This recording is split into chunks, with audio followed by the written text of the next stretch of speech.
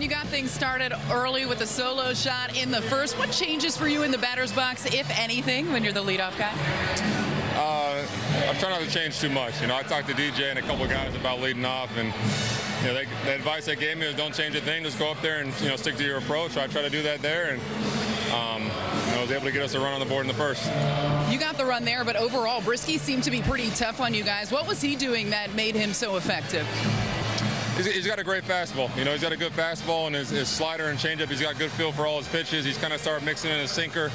Um, kind of later in the game as he went on, you know, it was a new pitch we haven't seen yet. So he just kind of kept us off balance. You know, we couldn't really get anything going or get some runners on and, you know, try to, you know, get a rally. But uh, luckily we were able to get to that bullpen and scratch out a couple more runs and, you know, get a seal of victory.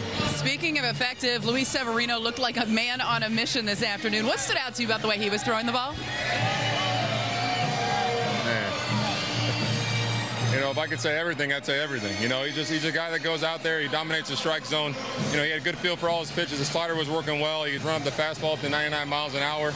Um, was, it was impressive all day. You feed off that type of energy. What has it been like watching this starting staff work over the last week plus?